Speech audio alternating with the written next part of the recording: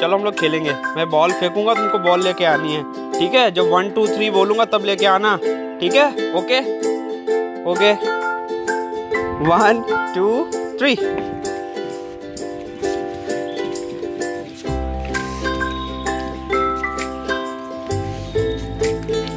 खेड़ी इधर लेके आओ ball no no no no रुक जाओ, खेड़ी, नहीं।